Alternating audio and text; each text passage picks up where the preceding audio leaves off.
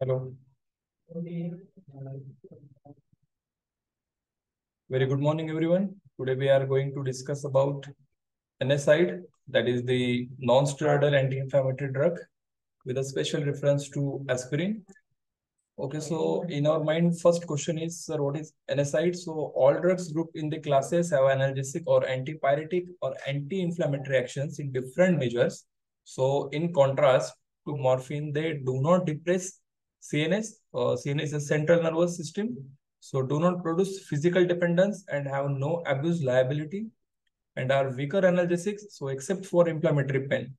So majorly they are also called uh, non-narcotics, non-opioid or aspirin-like analgesics. They act primarily on peripheral pain mechanisms, but also in the central nervous system to raise pain threshold and they are more commonly employed and many are over-the-counter drugs. So wherever we go to the community store or hospital pharmacy store, we'll get easily, we'll buy easily that uh, NSAID drugs. So willow bark, that is uh, Salix alba, had been used for many centuries. That was salicylic acid and it was prepared by hydrolysis of the bitter glycosides obtained from this plant. So sodium salicylate was used for fever and pain in 1875. It's a great success lead to the introduction of acetyl salicylic acid and aspirin in 1899. So phenacetin and antipyrine were also produced at the that time, that particular time, and the major advance was the development of the phenylbutazone. Uh, in 1949, having anti-inflammatory activity almost comparable to corticosteroids, and the term non-steroidal anti-inflammatory drugs was coined to that uh, designate such drugs.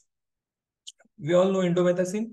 So indomethacin was introduced in 1963 these are a host of compounds that heralded by the propionic acid derivative that was ibuprofen and have been added, uh, added since then the cyclooxygenase that we also called as COX inhibitor. So COX inhibition is recognized to be their most important mechanism of action. So recently some selective COX-2 inhibitors like a celecoxib uh, uh, have been added in that particular uh, groups. So non-opioid analgesics having uh, two types. First one is uh, analgesic, also called as antipyretics, and another one is non-steroidal anti-inflammatory drugs. So now we are going to see analgesics like antipyretics, also known as AA drugs against fever and pain. There is also one non-steroidal anti-phlogistics uh, NSAIDs against inflammation, fever and pain. And another one is, is like an NSAID overlap particularly. So antiuretics is also there that is used for gout therapy. What is the mechanism of action? So all of these non-steroidal anti-inflammatory drugs uh, have similar mechanism of action like inhibition of eicosanoids synthesis with a higher or lower selectivity and strength. NSAIDs differ in the strength of COX-1 and COX-2 inhibition. And both are the incidence of typical AE means uh, ulcer disease or in a which will be used in a bleeding. So cyclooxygenase will go to the slide, we'll see. Uh,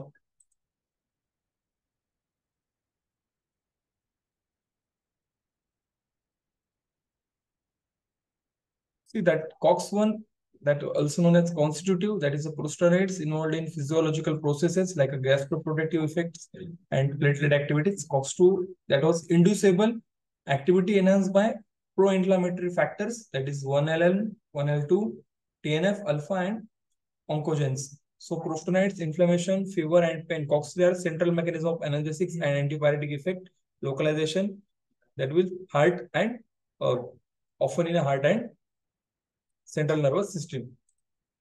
So these are the major important part about uh, non-steroidal anti-inflammatory drugs.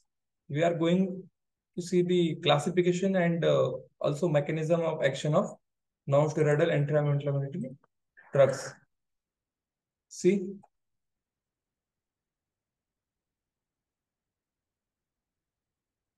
So there are classification uh, in a four classes, non-selective COX inhibitor, preferential COX-2 inhibitor in which nimesulide, diclofenac, aceclofenac, meloxicam, etolac, these drugs are classified. Selective in the sense third class COX-2 inhibitors, celecoxib, etoricoxib, and parecoxib.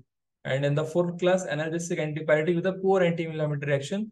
Non-selective COX inhibitor having category like salicylates, propionic acid derivatives, phenamate, enolic acid derivatives, acetic acid derivatives, pyrazolone derivatives. And the examples are like for salicylates, example is aspirin, and uh, it was uh, counter drugs, over the counter drugs, propionic acid derivative like uh, ibuprofen, naproxen, ketoprofen, fluoroprofen, phenamates में आता है mefenamic acid, enolic acid derivative piroxicam and tenoxicam acetic ketorolac, indomethacin, uh, and nabutamidone, uh, nabumetone, and pyrazone derivative में phenylbutazone and oxyphenbutazone. In the fourth class, that was the major class, analgesic antibiotic with a poor anti-inflammatory action. These, these are the examples of it. Paracetamol, also known as acetaminophen. Uh, in uh, I just wanted to mention one uh, term.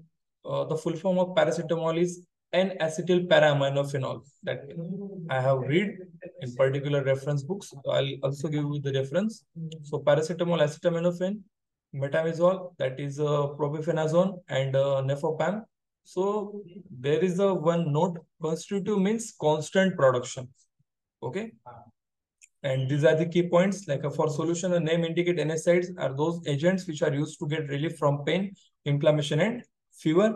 And are uh, and as per the COX pathway, we understand that COX1 and COX2 ultimately from prostaglandin, which initiates perception of pain and inflammation. So anyhow, we have to block or inhibit. Uh, anyhow, if we block or inhibit the synthesis of prostaglandins, we are we may reduce the pain and inflammation.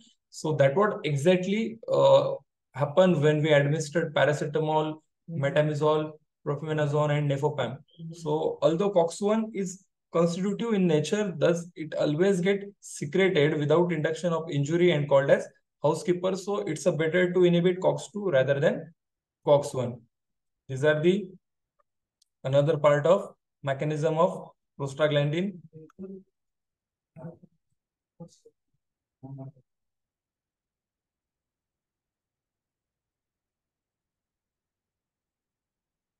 So we are going for a special reference with the aspirin. First of all, I wanted to show that uh, drugs highly bound to plasma protein that uh, table uh, we have referred from uh, KD Tripathi.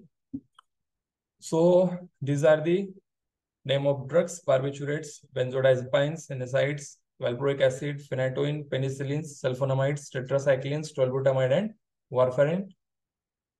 And uh, so salicylates means aspirin, also prototype.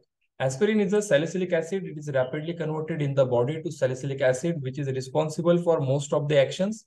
Other actions are the result of acetylation of the certain macromolecules, including COX. It is one of the oldest analgesic anti-inflammatory drugs and is still widely used. So this is the structure of aspirin. Pharmacological actions of aspirin. It is act as analgesic, antipyretic, anti-inflammatory action. Aspirin is a weaker analgesic than morphine. So always remember aspirin uh, why we used aspirin in a wide amount because it's having a weaker analgesic uh, activity as compared to morphine type drugs aspirin uh, का जो dose होता है वो है 600 mg coding का जो होता है वो 60 mg so however it effectively relieves inflammatory tissues injury related connective tissues and and uh, pain but is relatively ineffective in severe visceral and uh, pain so the analgesic action is mainly due to upturning of the peripheral pain, acceptors, and prevention of PG-mediated sensitization of nerve endings. So a central subcortical action raising threshold to pain perception also contributes, but the morphine-like action on psychic processing or reaction component of the pain is missing. So no sedation, subjective effects, tolerance, or physical dependencies produced from this particular aspirin. Another uh, aspirin resets the hypothalamic uh, thermostat and rapidly reduces fever by promoting heat loss. So that is what exactly happened while administering the uh, dose of aspirin. It immediately uh, also we uh, added the term rapidly reduces the fever by promoting heat loss.